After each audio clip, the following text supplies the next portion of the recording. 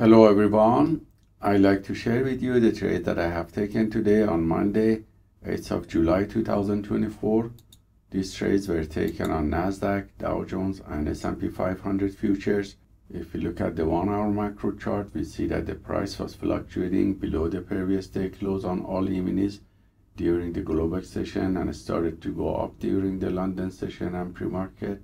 And by looking at 10 minute macro chart, we see that after New York market opening, the price started to go up rapidly on Dow Jones and S&P 500 and had a pullback on Nasdaq and later on this pullback was continued on all E-minis and went down to retest and pass the previous day high and also close. So when this downtrend retracement was finished, the buyers came back and this wave of uptrend here was taken after 1 o'clock on Nasdaq with setup B C and T repeatedly, and also on Dow Jones with setup B, and on S&P 500 with setup B. And all these signals were copied by copy trader to multiple Apex Trader funding accounts.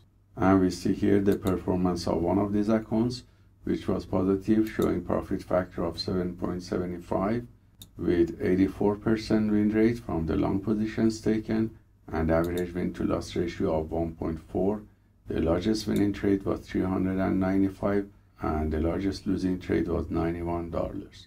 So hope this trade taken by the PAAT system for fast scalping is useful for you and let us know if you have any questions. Have a wonderful day.